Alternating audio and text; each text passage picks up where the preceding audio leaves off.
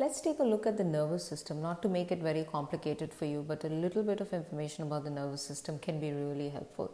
When we take a look at the nervous system, we have two parts of the nervous system. You have the peripheral nervous system and the central nervous system. The central nervous system comprises of the brain and the spinal cord, and your peripheral nervous system has the involuntary part, which is the autonomic nervous system, and the voluntary part, which is the somatic nervous system.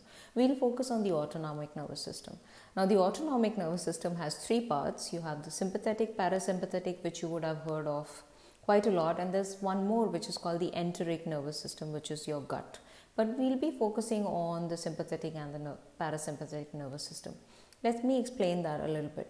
Let's say I have a deadline um, on Friday right? I may get a little stressed about it and i'm going to work towards it and try and finish all the stuff on time. And that's fine that little bit of stress can help me to really get motivated energized. Now if i think too much about it i worry too much about it i get really anxious then the good stress kind of becomes bad stress.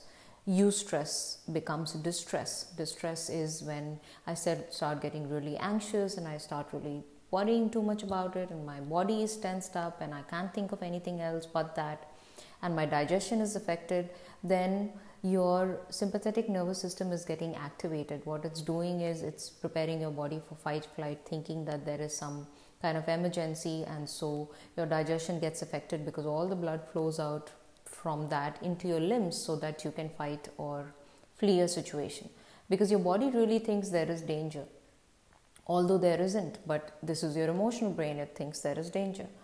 And so it puts you into that state. But let's say you do a bit of breathing, you do some meditation, you do certain exercises or tapping, and your body starts calming down. It comes back into a parasympathetic state, which is the rest, digest, repair state, where your body calms down and it goes back into a normal, balanced state.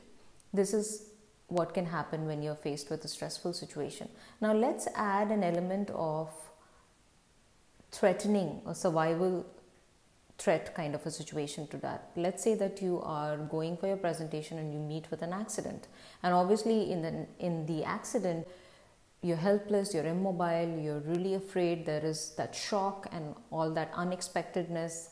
It could be isolating as well. Maybe nobody was there to help you, so that makes it a traumatizing situation and that can stay in the body if you don't process it which means that since you were not able to run away or fight that situation all of that response that freeze response all of that uh, incomplete action like Bessel van der Kolk talks about it all those actions that were not incompleted is stored in your body and your body is frozen, it's stuck, and that is what is traumatizing. That is what your body can carry, and it can have short term and long term consequences.